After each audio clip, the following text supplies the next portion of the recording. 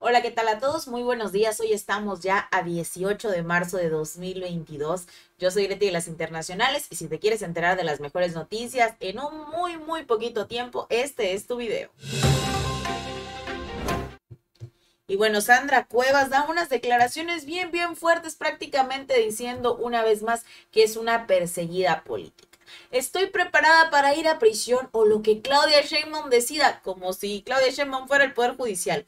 La alcaldesa, que por cierto hay que festejar que está suspendida, afirma que Claudia Sheinbaum es la que está haciendo todo esto y que es para ganarse el voto del pueblo. Estoy preparada para absolutamente todo. Estoy preparada para una vinculación a proceso. Estoy preparada incluso para ir a prisión. Estoy preparada para las decisiones que tome Claudia Sheinbaum Pardo, porque esto es claramente una persecución política. Afirmó que Claudia Sheinbaum es una mujer que va en contra de otra mujer, pero hay que decirle que esto no tiene nada que ver con el género, sino con la corrupción. Sandra Cuevas, si eres culpable, vas a tener que pagar. En otras noticias que seguramente los van a poner bien, bien alegres, pues el Senado aprueba un decreto, por fin el Senado despierta de sus laureles, donde el presidente Andrés Manuel López Obrador podrá hablar sobre la revocación de mandato. El Senado aprobó el día de ayer el decreto por el cual se interpreta pues que el presidente Andrés Manuel López Obrador puede opinar en torno al proceso de la revocación del mandato y fue remitida ya al Ejecutivo para promulgarla. Por fin hacen algo los senadores de Morena. Eh, parece ser que ya andan despertando el letargo. Y hay que decirlo, hay que festejarlo porque esto es algo muy importante para el derecho de la libertad de expresión. Y hablando de libertades, pues ustedes ya saben al polémico Ricardo Monreal, quien pues miren, nada más lo quieren expulsar de Morena. En un timbre de orgullo que corruptos y violadores de derechos humanos me ataquen, el senador Ricardo Monreal tras anuncio de diputados veracruzanos que pedirán su expulsión de Morena. Miren, nada más esto dijo Monreal.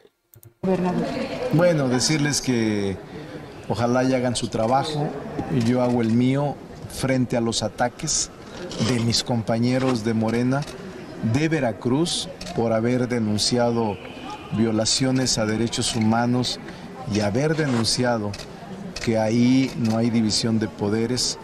Eh, no tengo ninguna respuesta. Les expreso mis respetos y ojalá y hagan bien su trabajo y defiendan a la gente de Veracruz que sufre y padece. Pero yo entiendo de dónde viene. No tengo preocupación. He vivido toda mi vida con adversidades y voy a seguir eh, luchando por las causas en las que creo. Contra los violadores de derechos humanos, contra los corruptos y contra aquella gente que lamentablemente eh, simulan y no están cumpliendo con los postulados de Morena. Pero saludos a todo Veracruz. Senador, eh, ¿de alguna forma eh, usted siente que quisieran hacerlo quebrar en esto que usted habla, que son sus convicciones históricas? Sí, mire, yo como dice el presidente López Obrador, para mí es un timbre de orgullo que los corruptos y los violadores de derechos humanos me ataquen. Es señal de que estamos caminando. Ánimo. Hay, voces en Morena de la Ciudad de México que también lo acusan de traidor. Es el corredor, es el corredor de normal, es el corredor normal. Lo que Pero hay que eh, en favor de la alcaldesa. Hay que seguir luchando, hay que seguir luchando porque no se cometan injusticias en México. Y si eso nos cuesta este tipo de expresiones de rechazos y de descalificaciones bienvenidas, porque para mí, repito, es un timbre de orgullo de quien me ataca, que apenas tienen dos o tres años en Morena, yo tengo 25 años en Morena. ¿Dónde estaban cuando iniciamos la lucha? Si en el 2015 precisamente a ellos les ganamos aquí en la Cuauhtémoc. Y eso no se olvida. ¿Qué les parece con Ricardito Monreal? Y bueno, una última noticia que de verdad los va a dejar impactados, pues Anthony Blinken, cercanísimo a Joe Biden, dice que Joe Biden amenazará así como lo escuchan, va a amenazar al líder chino Xi Jinping con represalias por parte de los Estados Unidos si envía ayuda militar a Rusia.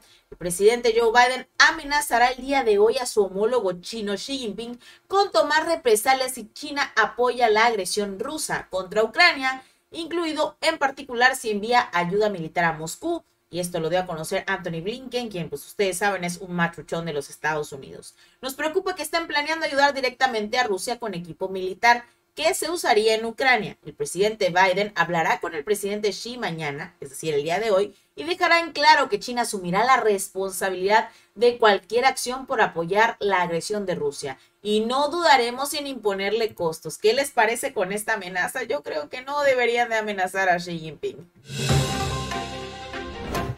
Mi gente, esta es toda la información que les quería compartir. Muchísimas gracias por ver este video. Les mando un beso muy, muy grande. Si les gustó la información, denle me gusta, suscríbanse y déjenme un comentario de cuál fue la noticia que les pareció más interesante. Nos vemos hoy en la tarde con muchísima, muchísima más información. Bye, bye a todos.